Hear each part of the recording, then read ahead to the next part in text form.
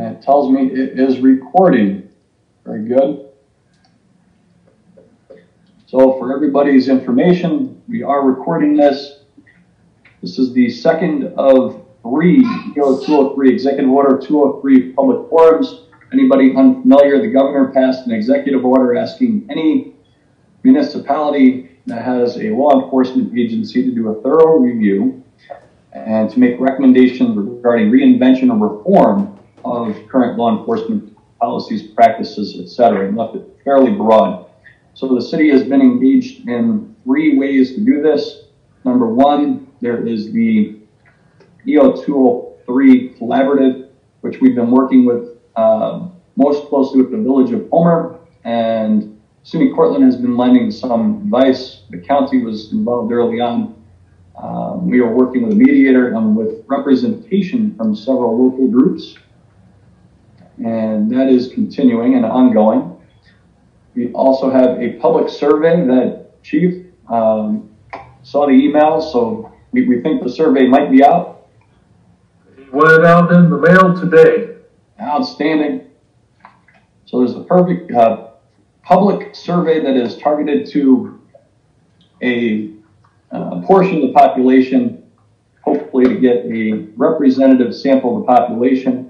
And the third way that we are soliciting for input to give the public the opportunity to weigh in is these are through these public forums. And again, this is the second of three. We want people to share their thoughts on what is desired from the City of Cortland Police Service. And um, people have the opportunity for three minutes longer if we don't have many speakers. We might be to that point. Um, people who are not able to make it to these forums, and I say this because I know that we have people who may be watching from home or they may watch this or read about it. Uh, they are more than welcome to submit in writing and via email it can be to mayor at cortland.org if you've got comments. And you can also submit via regular U.S. Postal Service. The address is 2543 Cortland, New York, 13045. And the goal is to hear from city residents and non-residents who are stakeholders about what is desired from the City of Cortland Police Department. Uh, we put together, and I believe it is on the webpage, there's two documents on the city webpage. One outlines a lot of what the police department currently does and how we're structured. And the other gives four different categories or areas that we are investigating or discussing as we look at fulfilling the governor's executive order. So guidelines for today, we ask the people, please, when you are speaking, have your camera on at the start. If you are asking to be a speaker, state your name and the street where you are a resident of. And if you can speak directly to the functioning of law enforcement in the city of Cortland, we're talking specifically about what our local department does and law enforcement and what our city department does. So the goal, we're giving opportunity for policy, procedure, and potential revision. What is it that you would like to see if you do not already do that? Comments about specific instances or people's experiences should reflect what we want to see about law enforcement. If there are complaints about individuals or instances, those should be reported directly to the police chief. Uh, this is about visioning, this is not a, com- a public complaint forum. So having laid out the ground rules, the floor is open. Is there anybody present today that would like to speak during the public forum number two on Executive Order 203? And we did have somebody who requested she is not currently online. And if everybody is here just to observe and listen, that is fine as well. Although we might end up with a little bit of dead air. If you are here and you would like to speak, you can give me your name and address in the chat box, or you can visibly raise your hand, or virtually raise your hand if you're familiar with Zoom.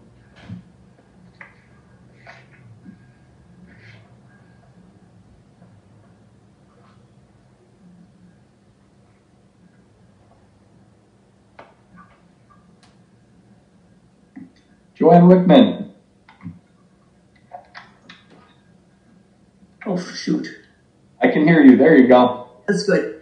Um, You got I- it. I have to move from where I am down to the kitchen, so I'm gonna shut this thing down for a couple of minutes. I don't have anything in particular to say, so I just wanted you to know why I'm gonna disappear. I don't think I can walk down the stairs and keep this open and not drop it, so that's where I'm going. But Well, keep it open and it tumbles over and over. I'll check and make sure you're all right. You could call the police perhaps. Thank you. I will mute though.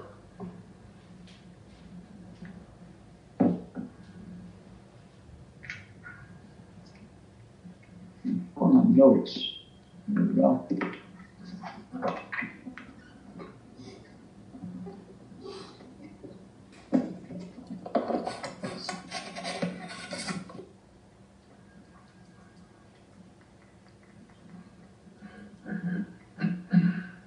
So without anybody else joining us, if there is anybody present that would like to speak, the floor can be yours.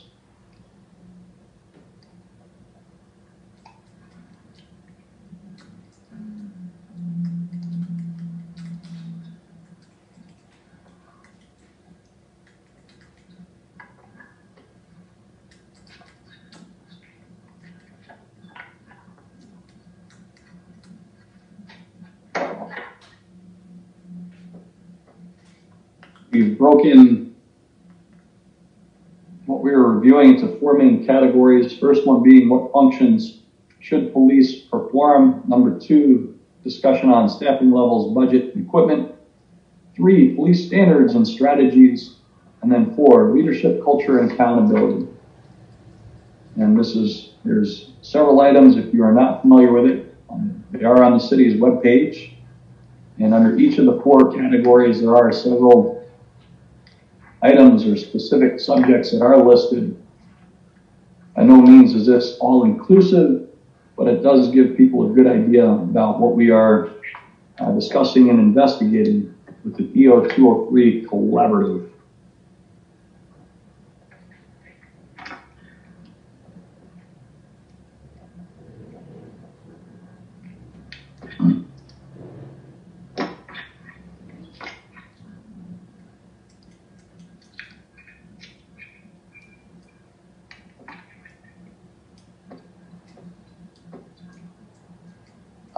Uh, Whitney am I pronouncing your name correctly?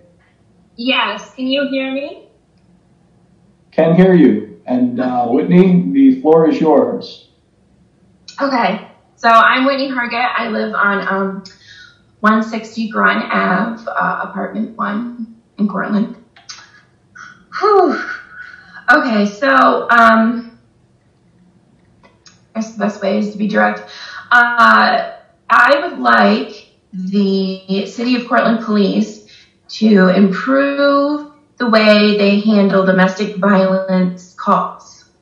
But before I fully uh, commit to that statement, I'm basing it on.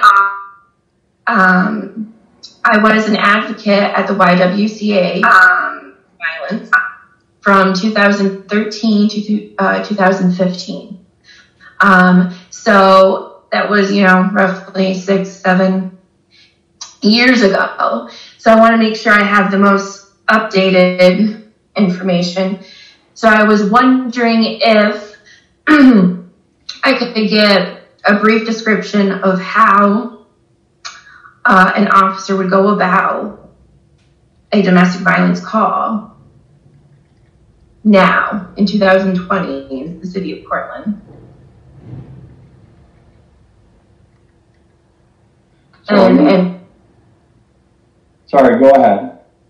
Yeah, just so that I know, because you know it was a while ago that I was an advocate, so um, maybe things have changed, and if so, then that statement is irrelevant.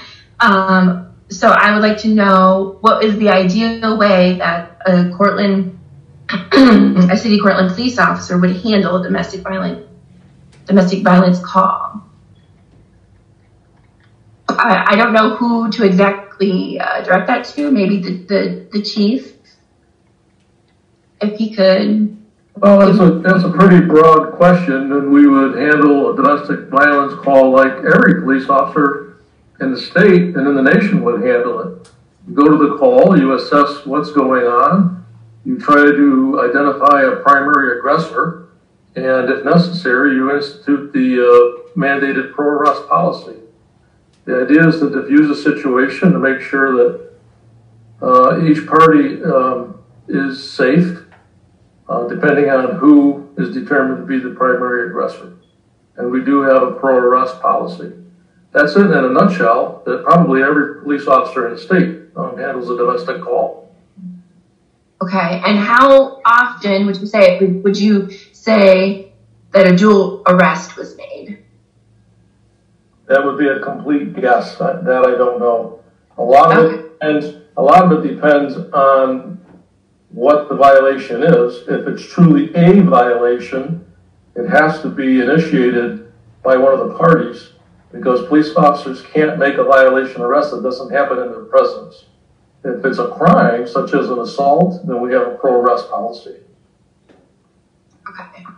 So let's say um, two of the individuals involved, there was assault on both sides. The, the police officer tries to determine who the primary aggressor was. If they can't determine that, then they can make dual arrests. Okay. Okay.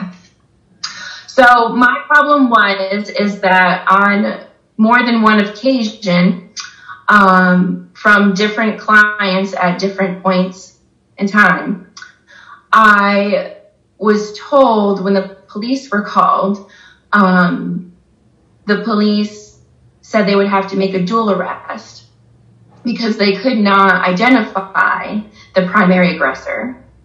And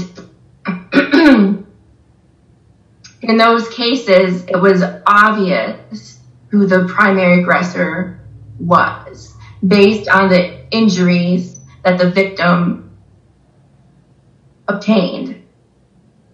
And uh, uh, mm, any the injuries that the perpetrator obtained uh, not only looked like defense wounds, but were extremely minimal compared to the victim's injuries.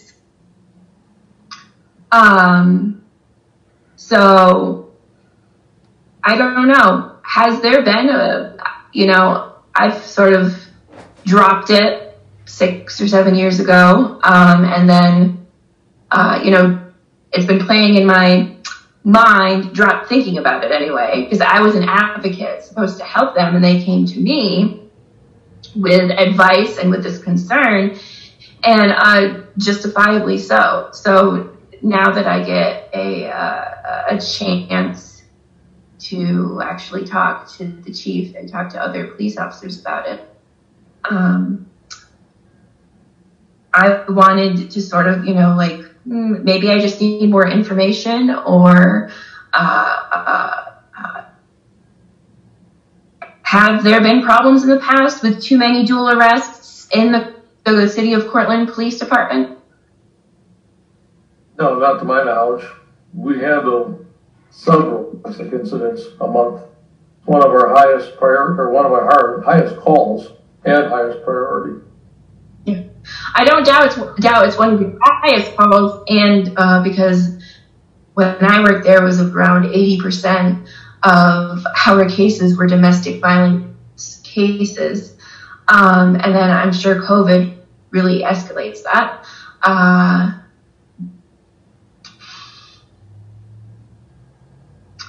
I'm guessing. I mean, I guess I will stand with my statement. I mean. Uh, I'm glad to hear you say the primary physical aggressor because so many times we came uh, up against that wall of, well, for instance, an officer would say, well, it's not my job to, to identify who did it because there's both people have injuries. And um, so I'll have to arrest you and then you can go in front of a judge. And that's the judge's job is, is to is to determine who actually was the aggressor, which um, which is false. uh, so yeah, I guess I would like to I stand by. Um, how often do the police officers get trainings on domestic violence cases? That's, that's a pretty broad statement. I don't know what you mean by training. What, what type of training are you specifying? Education, education on, uh, uh, on how to handle this domestic violence, why domestic violence occurs, um, statistics on, uh, um, yeah, I guess, does that help at all? No, not really. I don't know where you're going with it. Uh, well, I mean, I, I think the question is pretty direct. How often do they get domestic violence training? And do do the police officers work fairly close to? Because I've been out, out of the loop. Uh, do you guys have any reach out, and do you work at all with the aid to victims of violence? Um, Yes, yes, we do. Okay, and in what ways? Advocacy, referrals. Referrals. Okay. Any any trainings or, or you know, um, yeah, any trainings that the AVV uh, um, and and your officers have together, or um, None Any- I'm I don't know of any trainings that AVV has ever sponsored.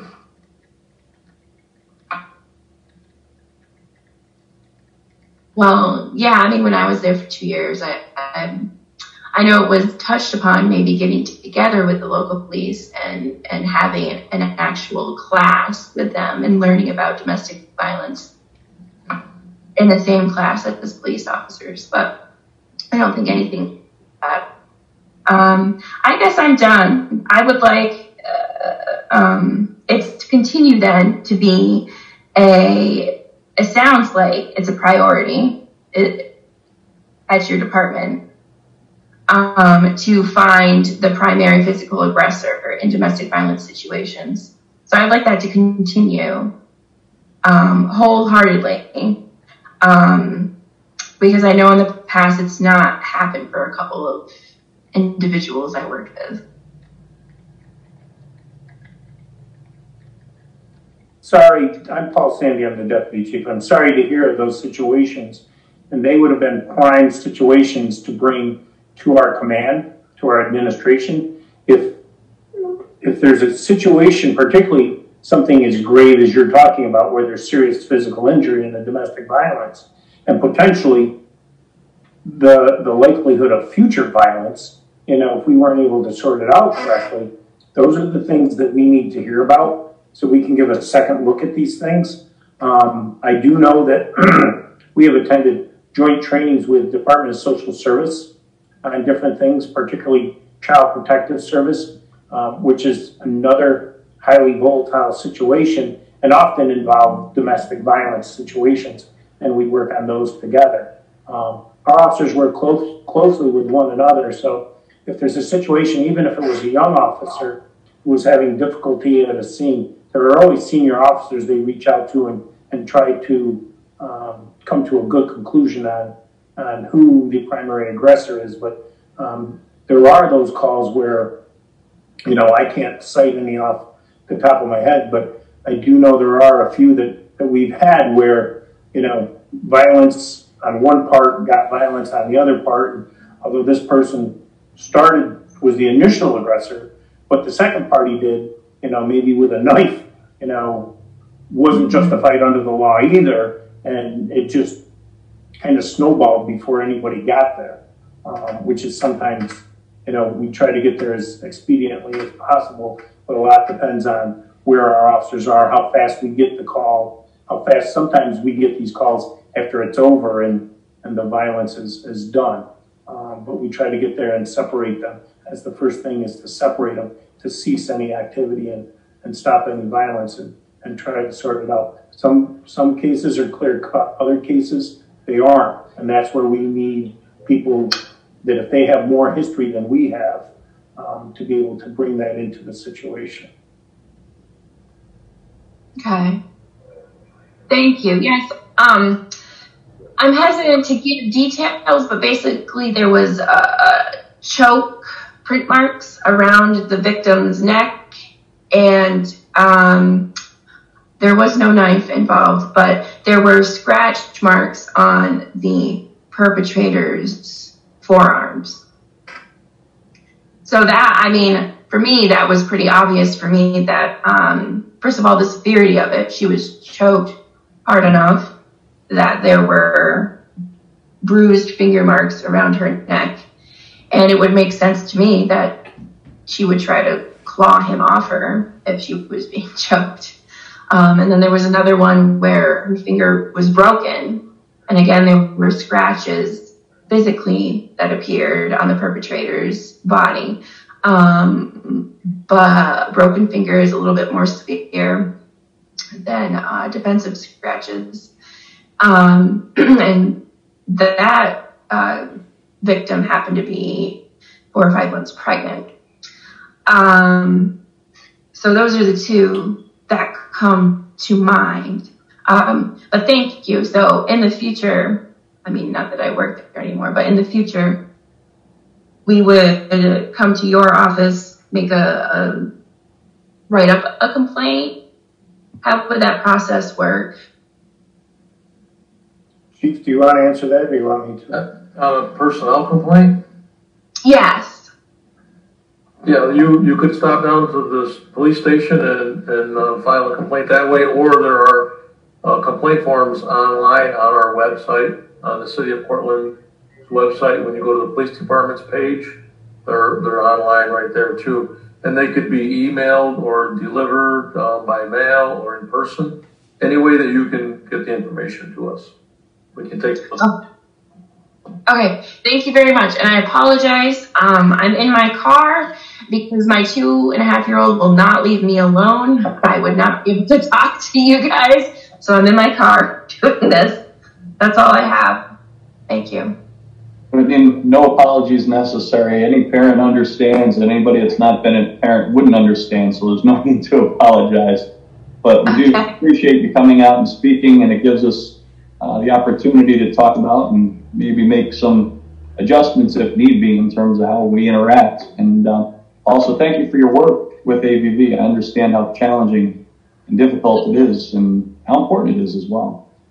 Thank you. Yes, thank you. Have fun with the two and a half year old. Yeah, oh yeah, he's he's something. Very good. Uh, looking to see if we have any other speakers that would like to have privilege of the floor. Again, I will repeat this periodically, and since we're about a half hour into it, now is probably a good time because we have had, I believe, a couple people join us. This is the Executive Order 203 Public Forum for the City of Cortland. And what we are doing is giving people the opportunity to speak. And the goal here is to give us an idea of what we envision for the City of Cortland Police Department. Uh, in addition to myself, I did not introduce myself. I'm Brian Tobin, Mayor for the city. Police Chief uh, Catalano is on, Deputy Chief Sandy is on as well, and Troy Beckwith, who represents the 7th Ward in the City of Cortland, has joined us. Uh, there is, this is being recorded, and I believe it might be being live streamed because there is media present. And we do have a request from Patricia Shedd. Patricia, hello. Hi, thank you. Um, I was hoping to share before Whitney got off. It's my understanding in that CIT training, AVV does come to that and has a whole section for the officers. And so they do hear that information in that training. I wanted to start by talking about the leadership with city. So I'm here as Mobile Crisis, Liberty Resources Mobile Crisis Team for Cortland County. And I just want to, I guess, um, really put out there the leadership with the city police department is so invaluable for what we have in our community. uh, they're very collaborative and really seem to value mental health in with everyone, youth, adults, everyone. Um, my experience has also been very, they've been very responsive. And so that's very much appreciated when we're talking about some pretty complex um, individuals and cases. What I would like to see, just uh, thought, so the uh, collaboration with Mobile Crisis currently is excellent. Um, I think it's probably one of the closest in many of the surrounding counties. Angela Adams, I see, is on here for Mobile Crisis, so she wants to add anything to to this. But I think it would be really nice to see um, a stronger collaboration between the two and having those social workers be part of many of the calls uh, that could involve mental health, not just suicidal ideation or um, something that's very clearly mental health based. And so I'm not sure you know what what that could look like if it would be through a 911 system or um, you know how we could expand that but i think that that would be very helpful and I think it would give more time to the officers that are maybe going out on these repeat callers um, to kind of pass that on to mobile crisis and let them handle those situations so they can go to other ones.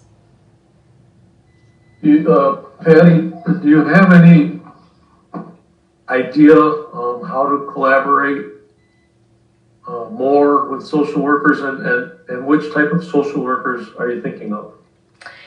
So, in my mind, and again, this is with my mobile crisis hat because I have other positions in the county, so just to be clear, um, in my mind, it would be through the 911 call system. So, if there was a clear mental health call coming through that could go right to their licensed clinicians that are on the mobile crisis team, and it could go right to them to go on those calls so your officers didn't have to frontline them and then call in mobile crisis and mobile crisis could call your officers if it was a safety risk, you know, if there was concerns and they were needed.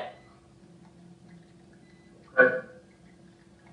All right, I'll, I'll uh, get together with Lieutenant Guerrero and we'll discuss if there's a way that we can find that to happen. Um, yeah, yeah, good idea. So just so I understand, the recommendation would be instead of if, if there's some potential mental health issue, instead of police being the first responser, responder, a mental health professional would be. Pending the the situation safety, yes. Very good.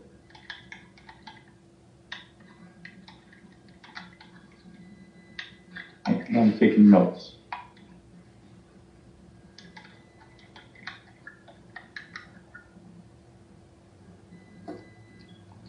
Any further comments, Patricia? Patricia or Patty, what do you prefer? Patty, thank you. Very good. No, I appreciate the time. Thank you. You, Thank you. Yeah, thank you for being here.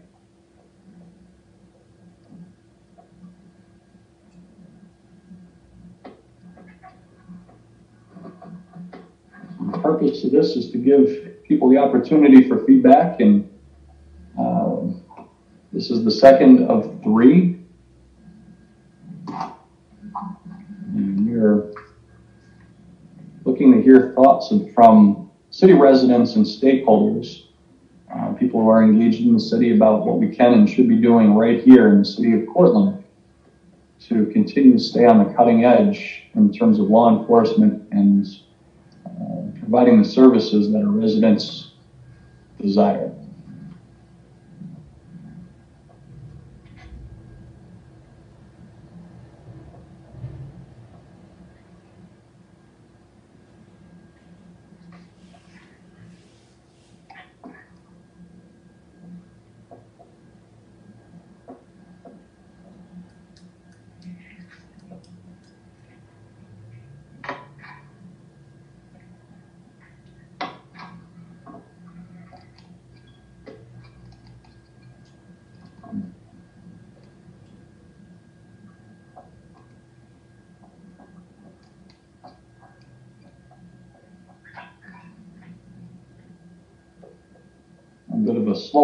based on our first one, but we want to make sure that we're giving ample opportunity for people to give their feedback.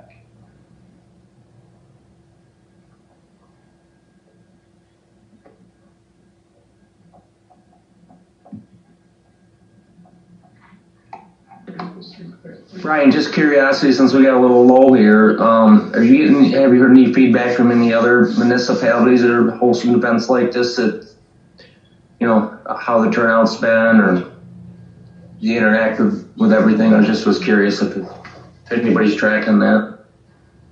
I, I did see that the county has a presentation plan for tomorrow night with a uh, opportunity, a window at the end for feedback, questions, I believe. Uh, I'm not certain if the village is doing anything, although we've had some conversations. And the other two law enforcement agencies in the county are the state police, which are covered by the state, and then the university police up the college, which essentially are also covered by the state. Um, so in terms of the county, not too familiar with. Um, there was a call two weeks ago arranged by the New York Conference of Mayors. Uh, there was a number of speakers from across the state, and not sure that everybody is going this route in terms of public forums, but the opportunity for public feedback has been um, the opportunity for public feedback has been stressed by the governor's office and by the governor himself. So, like I said, we've got a couple of different ways that we are looking to give people the opportunity to share their thoughts. Good. Chief, have you heard back from any other municipalities or anything? Uh, a lot of, well, I should say a lot of, some municipalities held these forums earlier, uh, like in September. And depending on the size of your jurisdiction, that depends on how much participation you get. Smaller agencies like us, I, I don't think we get a ton of participation. But the, the bigger, the larger agencies with, you know, hundreds of officers, they can pack up an evening easy with comments.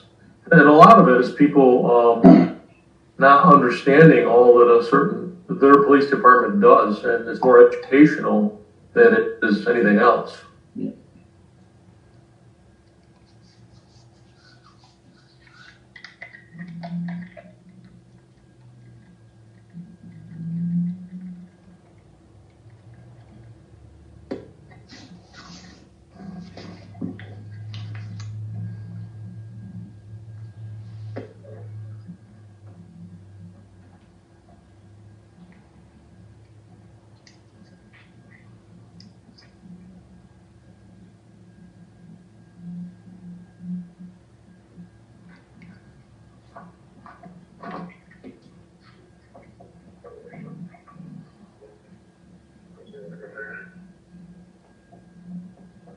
So if there is anybody present that would like to have the opportunity to speak, share some thoughts, all you need to do is give me your name in the chat, or you can turn on your camera, give us a wave, or raise your hand virtually as a way of raising your hand on the screen.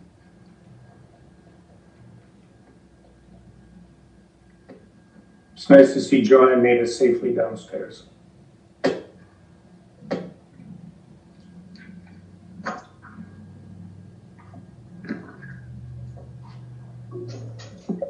And we do you have a question. Deputy Chief may have prompted a question. Joanne Wickman, you have the floor. She's muted. Uh, Joanne, you need to turn your microphone on first.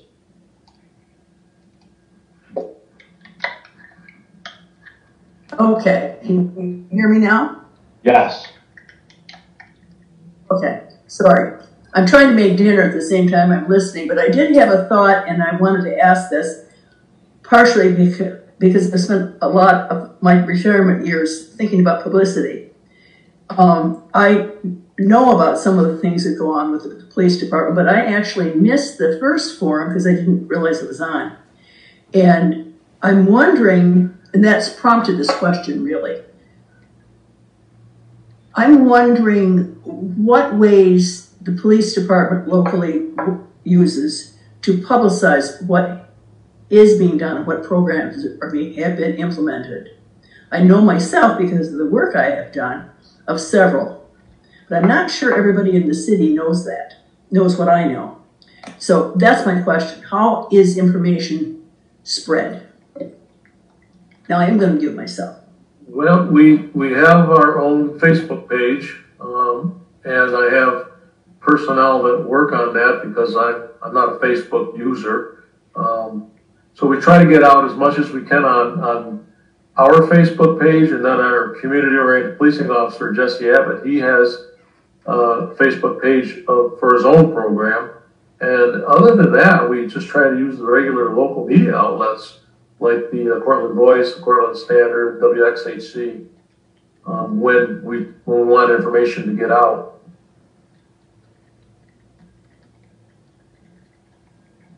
If there's I guess the I guess the comment I would make, there's, there's so many other ways people receive information these days. Um, in addition to Facebook, which is basically used typically, typically by a black demographic.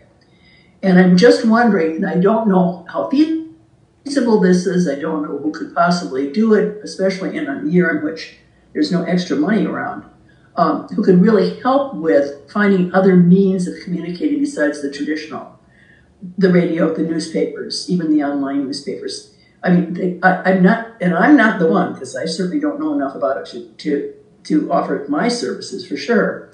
But I'm wondering if there if this would be a worthy thing to explore.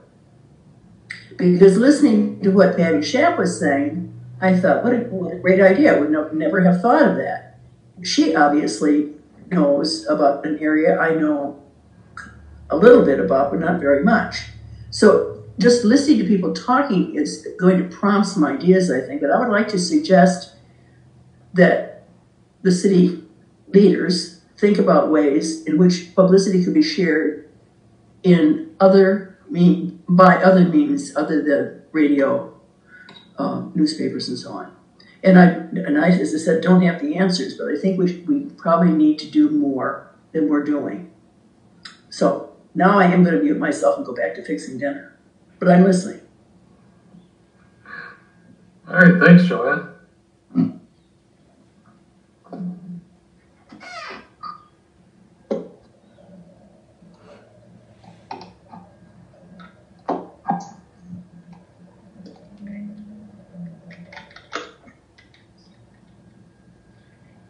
Yeah, sometimes do, doing the job and discussing how you're doing the job, it's important to make sure we are sharing and um, there's no one way to get information out to the public and know that everybody is going to get it.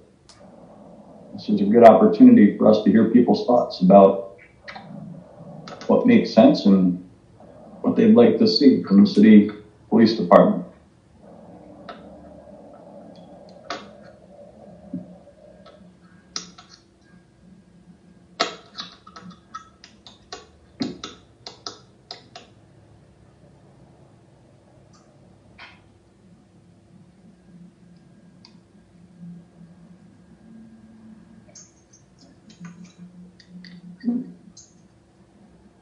Sorry, can you hear me?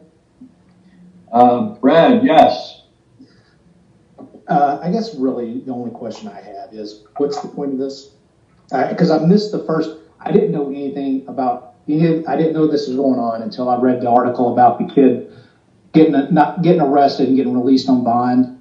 You know, after he basically sort of terrorized the neighborhoods here in the city. Uh, I did, I did, I read that in the Cortland Voice and then I found out this was going on. So what's the point of all this?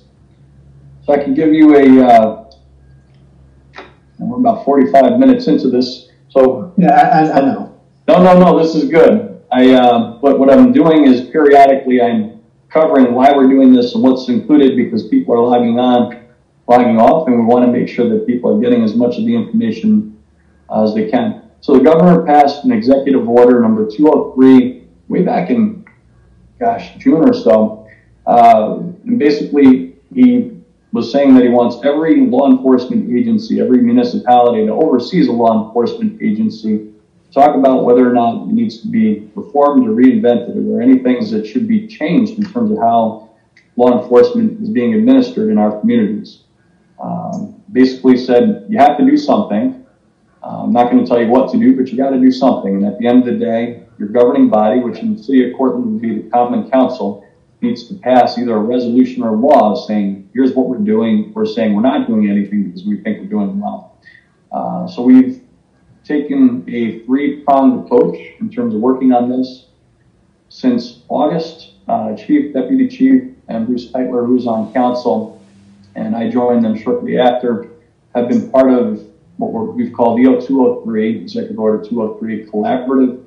Uh, we've been working with the Village of Homer, Cortland County Sheriff's Department, and, and the county was engaged for a period of time, and also the SUNY Cortland University Police, uh, more in an advisory capacity, but has been involved as well. And we pulled in a mediator who has been working with us and also with a number of representatives from local community groups.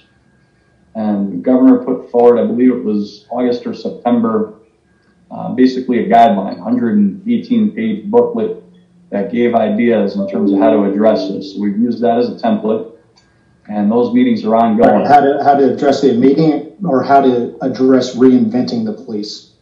How, how to address um, different topics. It's, I think, meant to be a genesis of ideas and cover different areas. All right. So, what do you think?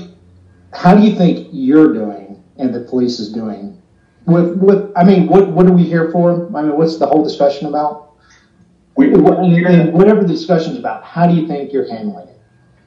And you and the, and the, the PD.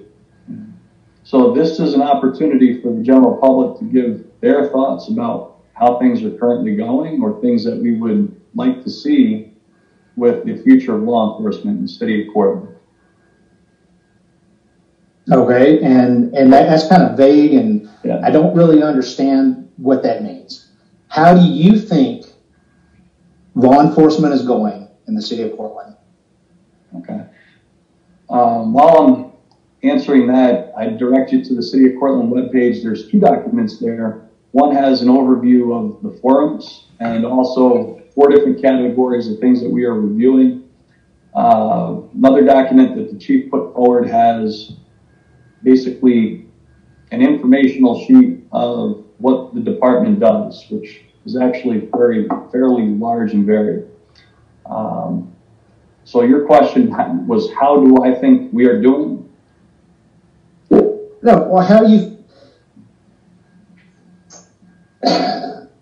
I'm trying to be as tactful as possible. I, I know why we're all here. I, I, I know the, the, the nationwide outrage of why we're all here. How do you think we're doing in the city of Cortland with the police department in regards to the, the overall social nonsense that's been that's been circulating over the past several months. How do you think we're doing? Do you think do you think you run a racist PD? I know that we have uh, great trained professionals from the top through, and we do an excellent job in terms of providing safety and security to the general public. Okay. Do, do you run a systematically racist PD or not? It's no. a simple question. Is it a systematically racist PD or not? No, I do not believe that there is systemic okay. racism. Then, then, what, then what's all this about? All right. So this goes back to the governor passed an executive order and for municipalities to continue to receive state funding. This is part of what we need to do. Okay. Uh, chief and I sat down. I'll let the chief share his thoughts. Um, but when we talked about this, the idea uh, of making sure that we have our finger on the pulse, so to speak, of the general public, because I have my perspective, Brad, you've got your perspective, and there's going to be well, if you've got 18,000 people in the city, you're going to potentially have up to 18,000 perspectives. So it's always good to hear. Well, well, honestly, Mayor, this is the first time I've had to discuss this with you or really kind of anybody else since, um, I guess, I'll, um, what, June or May, whenever George Floyd protest kicked off, that I think the, the city, not necessarily the PD, but the city really kind of let, let the PD swing a little bit. You know, they, they left, you kind of left them out there. You know, you, you never backed them up. You, you, you never said, hey, whatever's going on in Milwaukee, that, that really doesn't apply to us here. We, we, we try to run a tight ship. We try to run a, a non-racist PD. You never actually confirmed that you do not run a systematic racist government in the city of Cortland. We got a bunch of, well, you know, we need to hear people out, we needed this, that, and the other. And you've never, in anybody in the, in the, nobody in the city government actually stood up and said, you know what, we, we do not run a racist system here. We do not have a racist city. We do not have racist citizens. And, that's, that was like one of the most disappointing things I've seen in a while out of the city.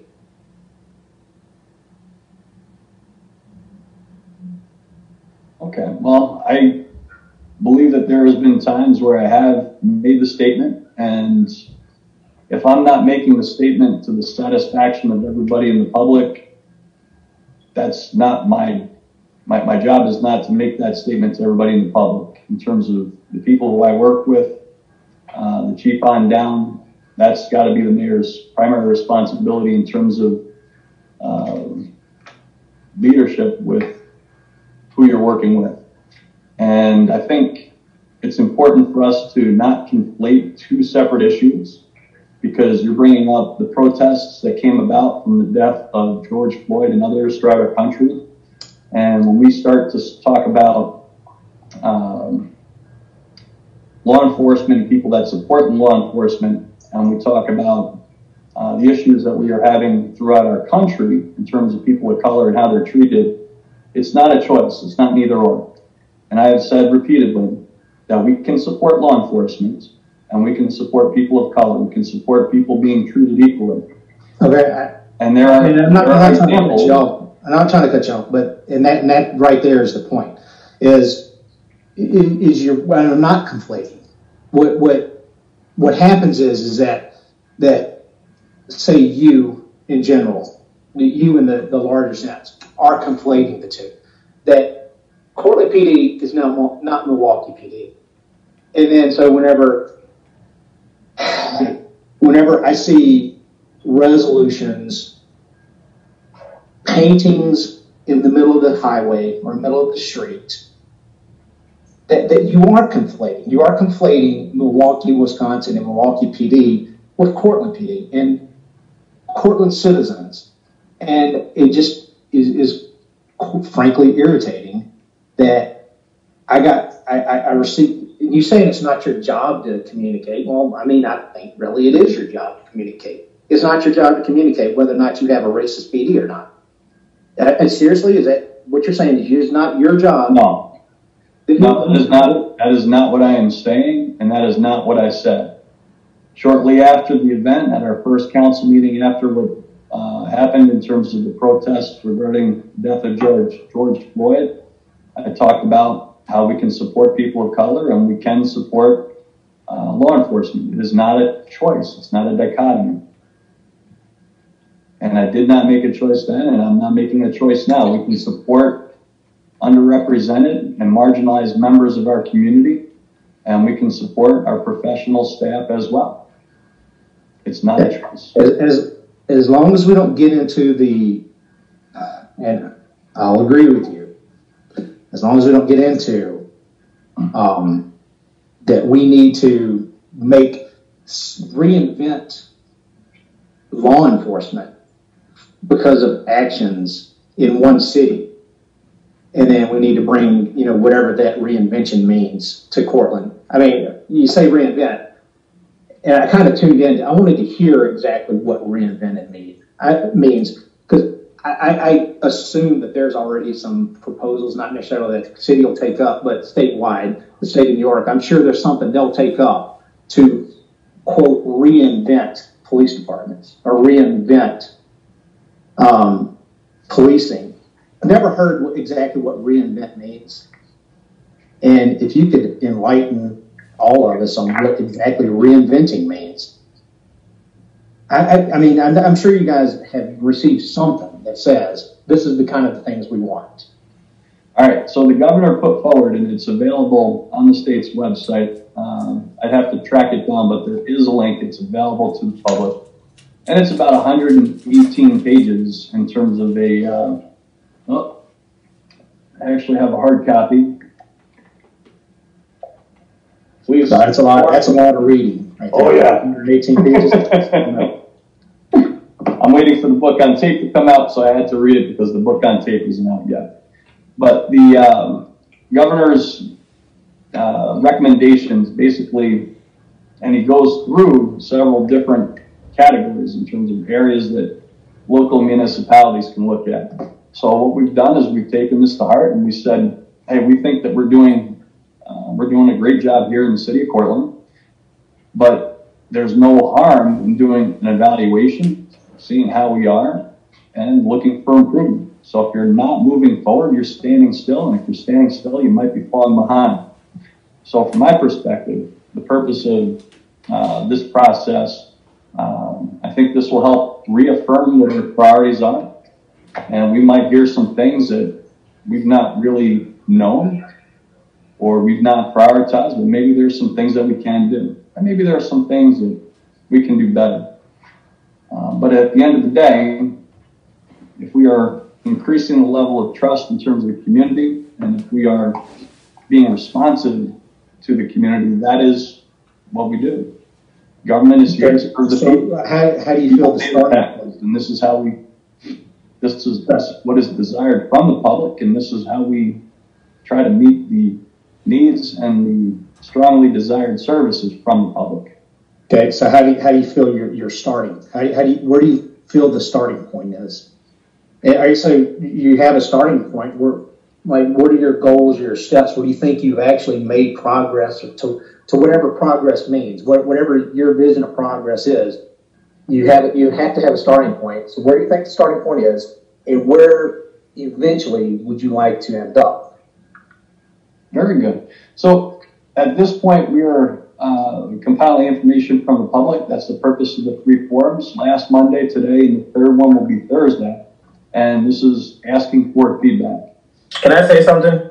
Uh, Steve, I'm going to say no at this point. Uh, this is, we're, we're kind of off track because this is supposed to be a listening session. Um, Brad's asking some direct questions. I have no problem with answering those. Um, but I don't want this to get to be off the rails in terms of the goal still being feedback from the general public. So right now we are collecting information and we're doing that through three ways. Uh, I mentioned the collaborative meetings, these public forums. The third one is a community survey that's gone out, which is something that the chief had done, was about six years ago? And we worked with, last time and this time, worked with a faculty member up at SUNY Cortland to develop the instrument and help make sure that we're reaching um, what will hopefully be a good representative sample from the population. So we're looking for that feedback. After you have the feedback, then we'll sit down and talk about what recommendations go into the draft plan. If we are on track, my hope is that we will have a draft plan late 2020 or early 2021. Uh, that would go back to the public for thoughts and comments. And draft plan eventually will become the final plan, which would go before the eight people on the common council. And common council then would have the opportunity to either adjust or accept the recommendations. And what will be the content of the recommendations is going to be something that has been worked on not just by the electeds, but also the leadership, the command staff from police in collaboration with members of the community.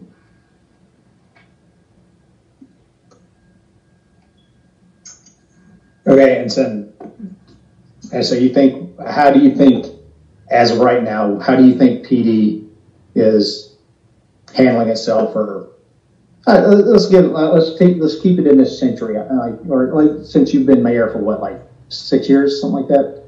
You're not, do you think PD has, has handled itself in the past six years? past nine years, we have an outstanding, well-trained professional force. And Okay. at strong leadership, we've got officers that do their job. Uh, I think it's also important to remember that our officers are people. and people need direction. And sometimes I can say that as a person, there's times where I make a mistake, and maybe it's at home with one of my kids.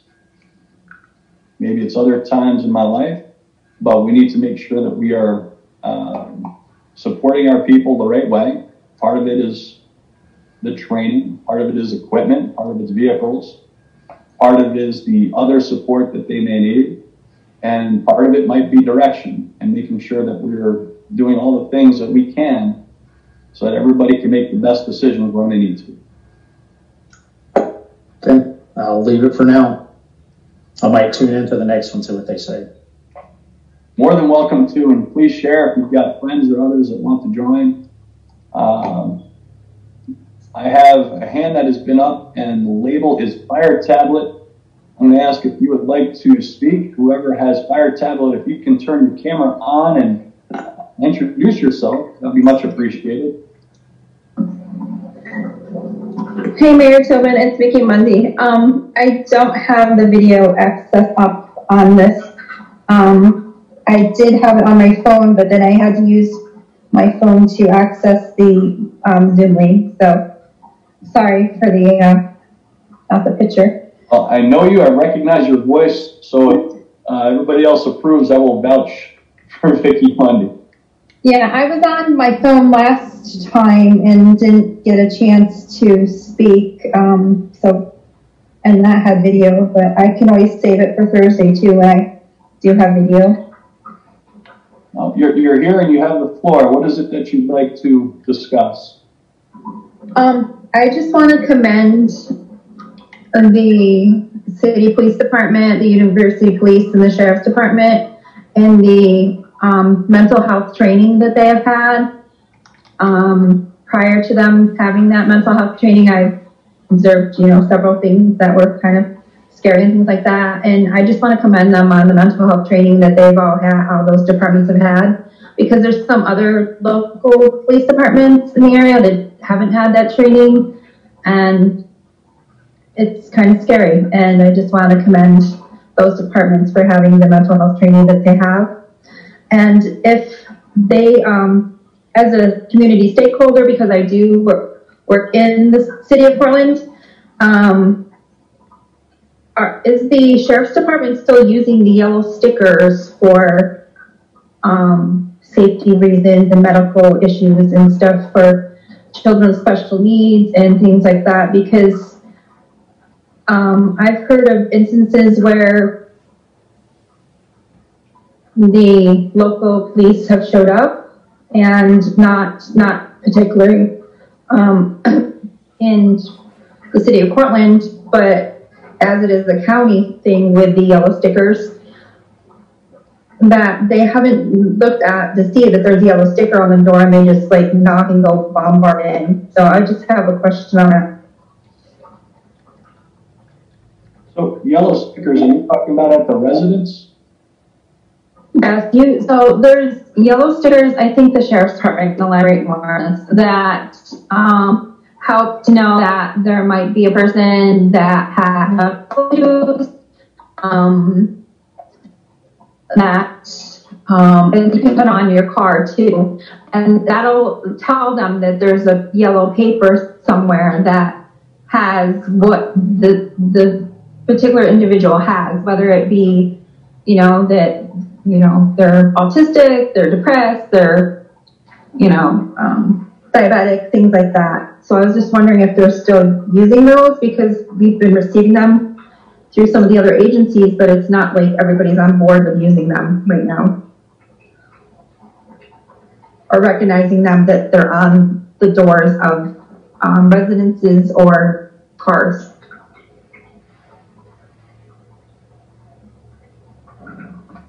I recall hearing about the program quite a while ago.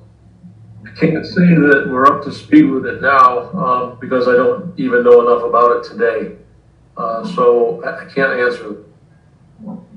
I can answer a little bit. I know what she's talking about. I participated in the program when I was taking care of my father, and we had a yellow sticker. We had the information pamphlet, and had all his needs um, and they tell you to put it in like the freezer or something.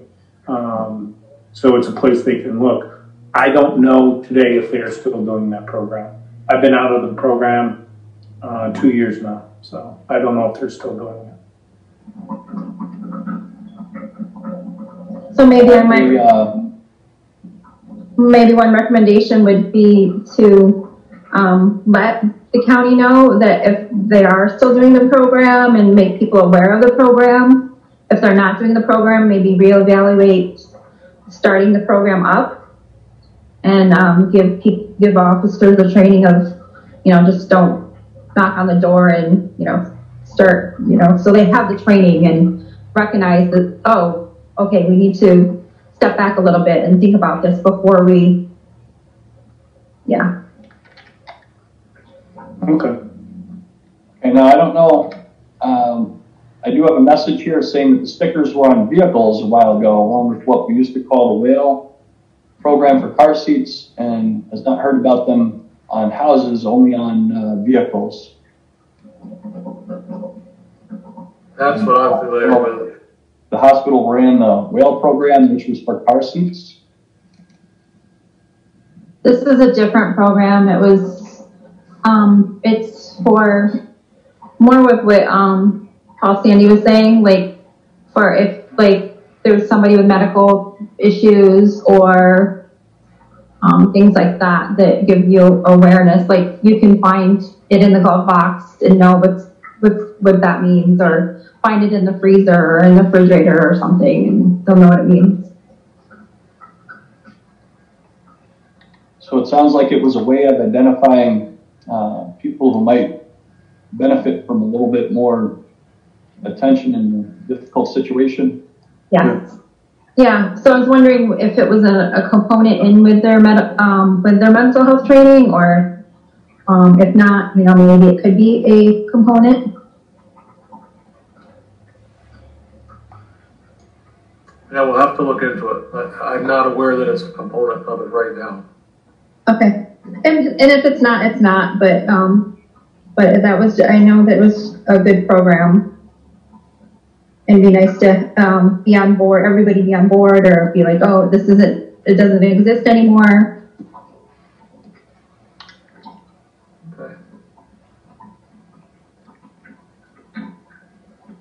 Thank you for giving me the floor, Mayor Tillman. I am headed to my grandson's to um, just um, my son and my grandson and my little guy and I are headed to my grandson's fifth birthday. So we're going to go enjoy dinner together, just the five of us.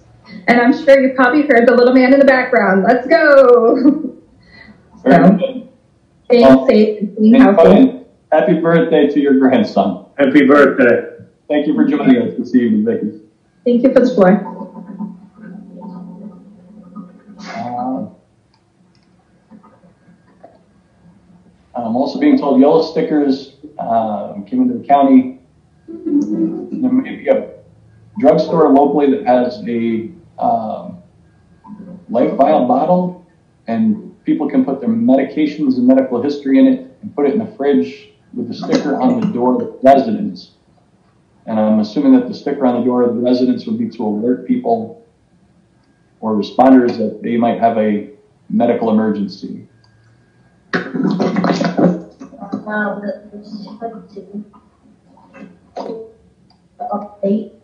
Yeah, that sounds like what it was. Um, they were giving them out at like Catholic charities and mental health clinic and things like that.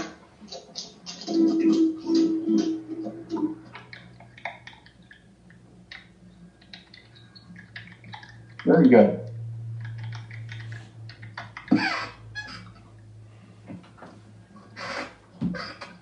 And the floor is open, and I'm gonna go back, seeing no hands up. I do have a request from Whitney. Uh, Whitney, the floor is yours again. Okay, thank you. Um, I actually wanted to um, say that I was interested in the idea of body cameras, and I know they cost quite a bit of money, um, but I think uh, they would. Um, sort of just shine light on or make clear what's happening um, in interactions with the Cortland City Police.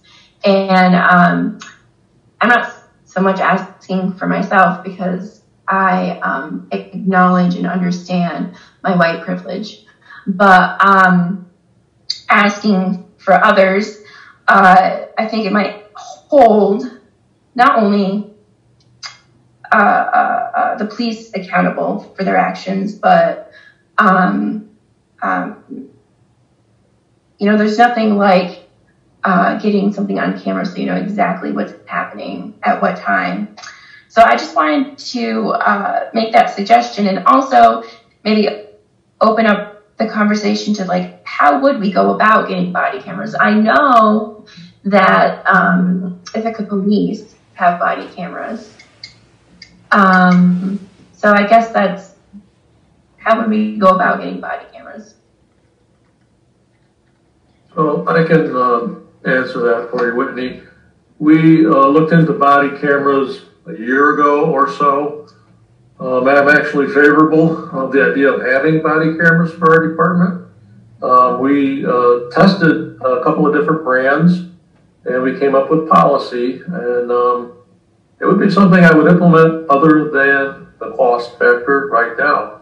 Uh, there are so many things that the police department needs just for basic functions and to ask for something that's going to uh, cost several thousands of dollars, that's a hard uh, that's a hard nut to crack with a um, city whose finances are stressed, especially due to COVID. Um, it's, it's a good, I think it's a good thing to have. Um, it holds officers accountable and it holds the public accountable as well.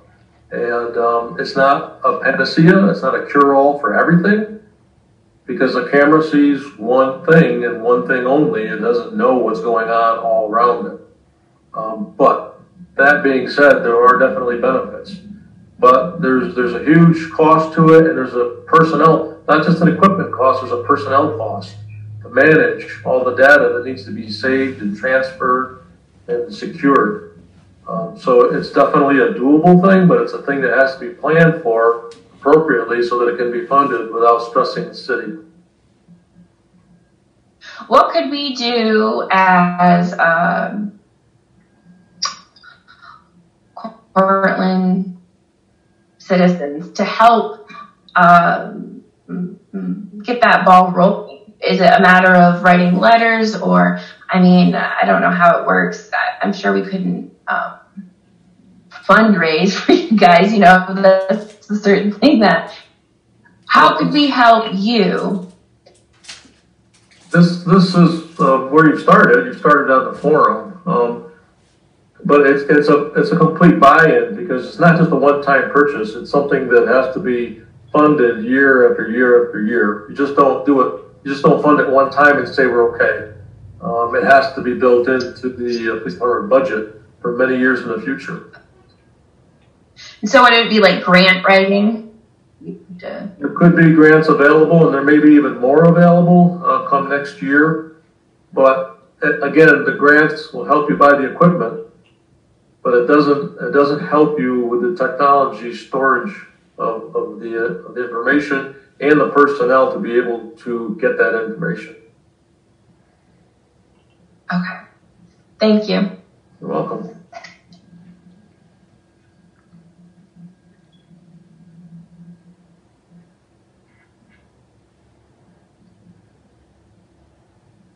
Good question, and that's part of why we're here. We want to hear what the public values, and as we look forward, what are the things that we really want to see? And sometimes it's questions about equipment. What will make sense moving forward?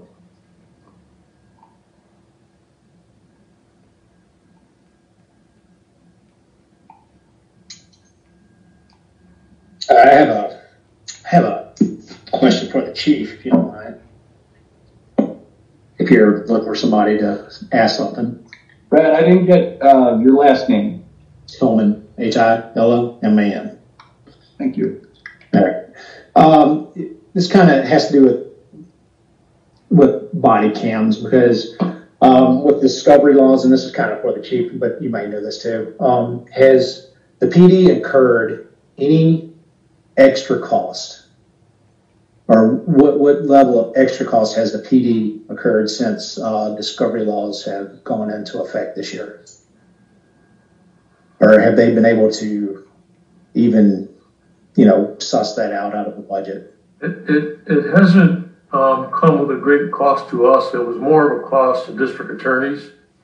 Uh, because they were under the gun to provide whatever needed to be provided at a, at a, at a time period. We're able to do that. We're able, we're able to get that information to them typically. Um, but it was the distribution of it from the district attorney's office that was, um, the bigger expense. So not so much with the police department as it was with the district attorneys. Yeah, but body cameras probably would add an extra layer of cost. That would be huge, discovery as well. Yeah, it would be a huge extra layer because you're talking hours and hours of video footage that needs to be stored and then retrieved in the proper time period. Um, that would, that, that would play into a big part of, uh, budgetary issues. About what's, I'm sure you've gotten estimates of annually, how much do you think that would cost? For, for just video storage? I mean, I haven't, I haven't priced it out. Uh, maybe the deputy chief might have an idea on that. I, I typically, typically the, cameras themselves are between five hundred and thousand dollars each. Um, but then you need the server that, um, holds all the information. And, and again, that's just the small part of it. The other part is having a, a person, an actual person available to go through all that information to know what has to be kept and what the time periods are, what's got to be forwarded where. Um, so you not only have equipment costs, you have personnel costs. And then I haven't flushed it all out, but um, I, I would say it'd be close to the hundred thousand dollar area per year. Per year? Okay. And I, I'm, I guess I'm not sure what the, the budget is for the PD. What, what does that increase? How much or percentage wise? Uh, for our operating expenses, expenses, that would be a huge increase. The Majority of the police department's budget goes to personnel costs. Um, and a smaller portion goes to operating expenses. That would be, that would be considered both. You would need operating expenses and personnel costs. So that's what, two cars a year, basically? What? That, that's basically like two cars a year? Yeah. Yeah. Yeah, not a, it's not an inexpensive proposition.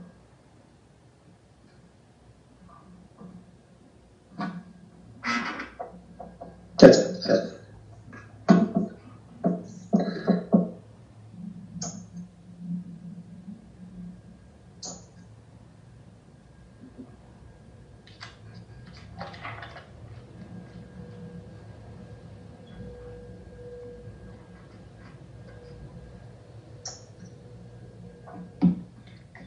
So as stated, purpose of these forums, we want to give people the opportunity to share their thoughts, give feedback. And we're looking to take those thoughts and that feedback, and if we are on a timeline, uh, more aggressively, we would have a rough draft by the end of the year, but I think it'll be more realistic to expect something, uh, the start of twenty twenty-one. Governor is expecting this to be done, a final report by April 1st, so that gives us a target date. But between these forums, the EO 203 collab with uh, Village of Homer and others, and the public survey that is going out, we know that we have three different ways that we are soliciting for input and looking forward to being able to use those to draft a report that will put out to the public and ask for public feedback come January. So this is one step in the process. And today is the second of three. Our third and final public forum will be this Thursday, 6.30 to 8.30 p.m. So that's December 3rd. And this will also be via Zoom in the same link as this one here, 892-739-1872. 892 1872.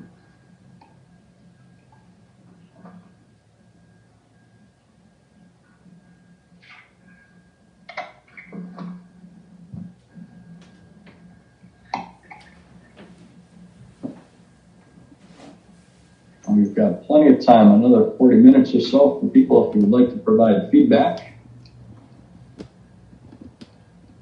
Mayor, just while we got a break, I've been trying to text the sheriff to see about that yellow sticker program, and so far I haven't gotten a response. Seems like an interesting concept. Great concept. Give people an idea of officers responding before they get to a residence or if it's a vehicle. Uh, Somebody might be getting a little bit of a different approach at times.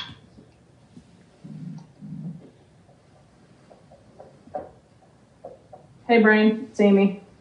Amy Bugs, Do you do you want me to talk a little bit about that program? I kind of remember some of it, or not? Or you want me to do it on offline? if, if you've got some information, uh, let me ask first, is there anybody present that would like the floor? Oh. Whitney? I would, but she can first. All right, we'll go to I would, Amy. I would go first. Yeah.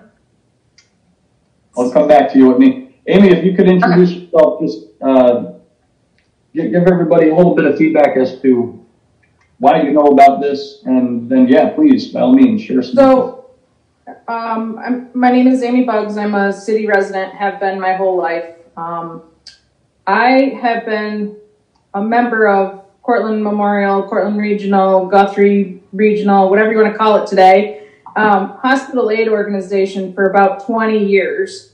And since I was a member at that organization, the sticker program that Vicki was talking about um, was a takeoff from the nationally recognized WHALE program, which was We Have a Little Emergency Car Seat Safety Sticker Program that originated in Virginia. It was a you put a little card on the back of the car seat with the kid, the child's information on it, whether they had medical issues, anything else like that. There was a sticker that was placed on the side of the car, the windshield. We did a lot of advocacy work with the local police departments, um, fire departments in the in the county, and then that program was replaced with this yellow sticker program that the county sheriff's department implemented, I believe, through New York State.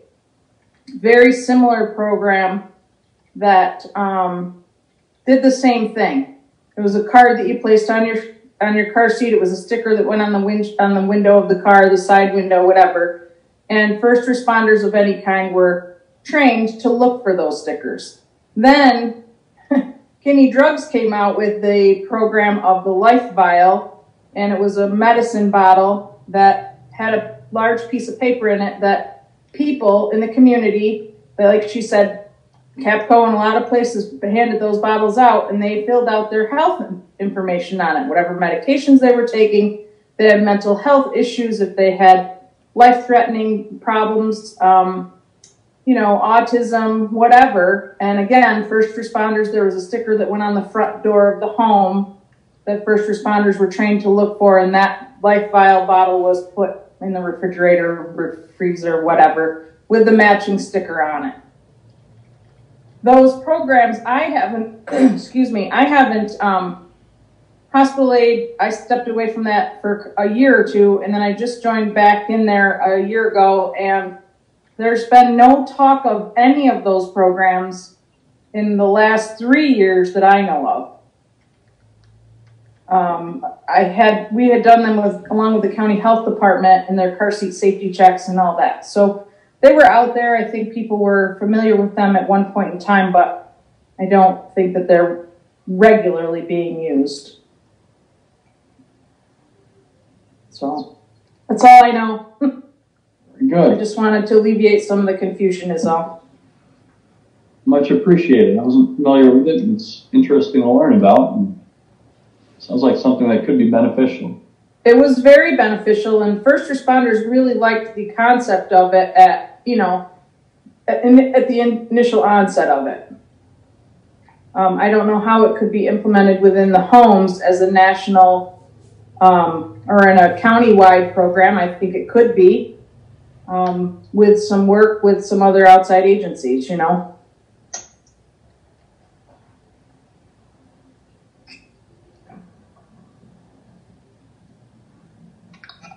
A directly related to that, wouldn't it wouldn't a wouldn't it be more effective and more efficient if and, and I'm sure it's done now that when a 911 calls out or, or responders or when the county sends out somebody that pops up in a, a CAD um, system to say whether or not you know the history of calls at this residence medical or you know I mean because I know there's you know I'm sure there's uh, domestic violence history or violence history or anything like that. I mean, medical history should, if I'm not mistaken, should be included too, right?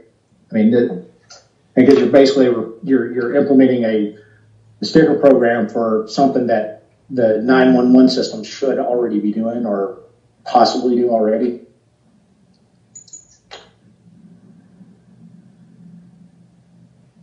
Good question. Is that something that is already done? 911 does share certain information um, when a call goes out, um, but they have limited information. Um, they might have repeat call information or whatever given to them. What these vials did and what this data did is it had more in-depth information about the residents and context, you know, specific residents. It's stuff they couldn't go over the CAD. It's just an extra layer. But 911 does give our officers um, certain information that they have access to.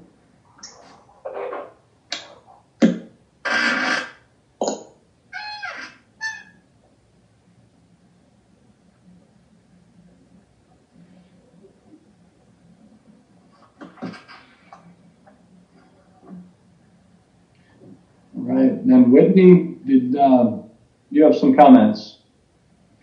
Yes. Um, so unfortunately, I did not make the open forum, the first open forum, but I did watch it.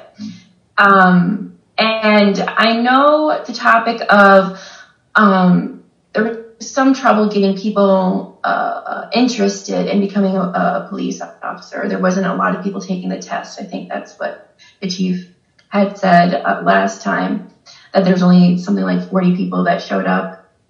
Um, and I, was wondering if that's connected to another thing that a young woman brought up in the first meeting uh, about um, people not being eligible to become police officers due to very um, misdemeanors, due to small misdemeanors like uh, stealing a toothbrush or I don't know.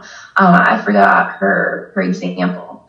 Um, I just wanted to uh, uh, further discuss that. Is is that a thing? Is what are the um, uh, criteria for becoming a police? There's basic there's basic criteria from the uh, with that with that risk from the Department of Civil Service. There's basic criteria in order to take the test.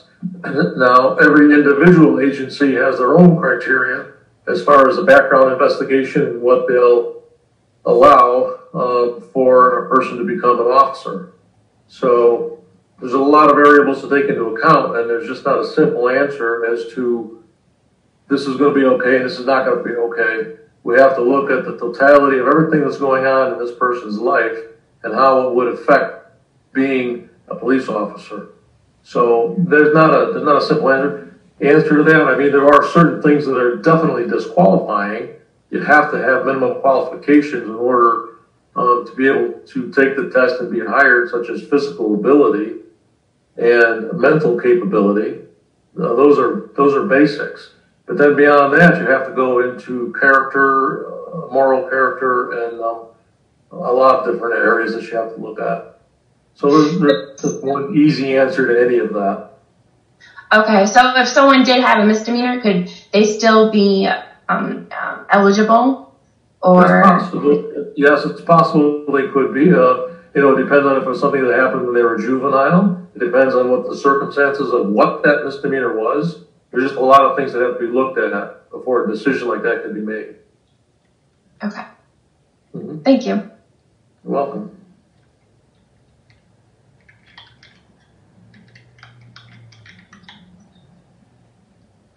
The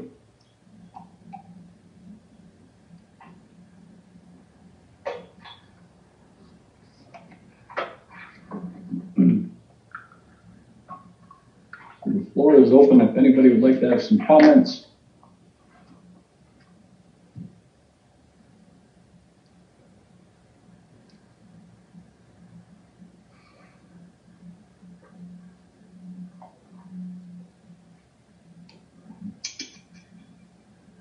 As we're approaching six o'clock, I'll read the overview and the expectations of the forum, just to keep everybody up to date with why we are doing this.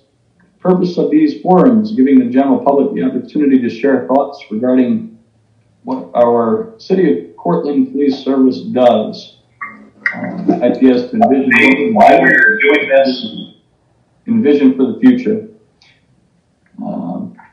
We're looking for city residents and stakeholders to share their thoughts specific to the city of Cortland with the idea of being able to make sure that we are meeting the expectations of the general public.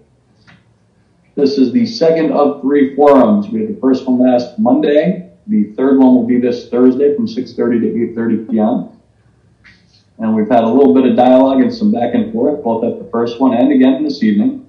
But the main purpose is for this to be a listening session for the opportunity, um, giving the opportunity for the public to share thoughts so we can make sure that we are enhancing and uh, doing everything we can to provide the services that people expect in the city of Cortland. We have also been collaborating with a uh, mediator and along with the village of Homer and there's several community group representatives from marginalized and other groups in the community working to hear concerns and come up with potential solutions for some of the concerns that are being expressed. And Chief, the last time it was done was, I believe, six years ago. There is a written survey instrument, a form, if you will, that we're asking people to fill out that has been mailed out. The chief said it was out today, so it should be coming soon to some of the homes in the city of Cortland. This is, that portion has been a collaboration with a professor, a faculty member up at SUNY Cortland, uh, who does statistical analysis and things like this for a living. And our goal is to hopefully get a representative sample of the community and get feedback that way. So there's three main ways between public forums, the EO 203 cult collabs, where we are working with the village of Homer and uh, different community groups. And the third one being the public surveys. And we're looking to make sure that we are efficient in terms of what the community wants to see and that we are providing to the community with regard to law enforcement.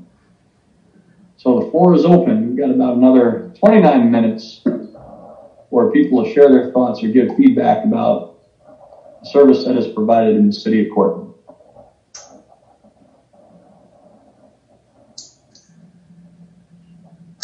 I have a question if nobody has a question. Ryan, the floor is yours. Okay. Um, for you, uh, had since since June, has there been a policy that the PD has changed that that we don't that I, I guess I really don't pay that much attention to PD policy, but is there has there been a policy change of any kind related to the kind of I don't know, say I, I'm trying to so, related to this issue. Is there have have has there any been been any policy changes so far? Um, our most, our most recent policy change that would uh, be anywhere near this would have been our use of force, but that was uh, prior um, to all of this. That would have been in 2019, I think, our our most recent one. Um, that would have anything to do with police reform off the top of my head. Um, we, I've mentioned it uh, many times, we're an accredited agency through New York State. So all of our policies um, follow certain standards that are required by the state. And part of, of continuing to be accredited is to um, reevaluate your policies on a continual basis. So we do that, and um, a lot of times we might we'll have to tweak them to bring them up to date. Um, if, if one hasn't been visited in three or four years, uh, there could be you know name changes or acronym changes or something that changes, and so we would update it that way. Um, but generally, uh, we don't come up with any um, new policies. I can't say that that doesn't ever happen, um, but when you're accredited, you're, you're pretty much covering every base that you need to. All right, well, that leads me, all right, between you and the mayor, is there anything that you guys in the near to medium term are looking to change that you really don't need any kind of council approval that you can just kind of do on your own? Are you looking at any kind of policy change? I'm not looking at anything right now. Um, I'm looking for suggestions based on the mandate that the governor put out um, for all police agencies, assuming that we all have somewhere that we can improve. Improve. Um, I think the Cortland Police Department's in, in very good shape, um, but I'm not um, stubborn enough to not, not want to listen to anything else that somebody might suggest. Um, Well, I'm, I'm, I'm, I'm just kind of like, what's your opinion? What do you, what do you think that something that, that, that could be changed that, that you can kind of do on your own without too much input? Is there anything you have? No, I don't, I don't anything on the top of my head. I mean, we do that all the time anyway. If something needs to be changed, we change it. We don't look for, we don't look for another authority figure to, to drive policy in the police department unless we're um, looking for some kind of a legal interpretation is all. Okay. And then I guess the last one would be uh, for you and the mayor is like, is there any policy out there that may not, that, that, that either one of you think that that's a good long-term policy that the P should adopt, that the city should adopt, that, you know, really hadn't discussed? Is it, I mean, what do you, what's your opinion of a good policy, good policy that should be adopted that we really have, really hadn't talked about? Is that a question for me? For both of you, actually, you and the mayor. Um, I, I don't have anything to add to that. I, I, like I said a little while ago, I think the Cortland Police Department is in very good shape. Um, and doing everything that we should be doing. All right, so there's nothing, all right, yeah, I, I'm just trying to like get your opinion of what you think you might want to do.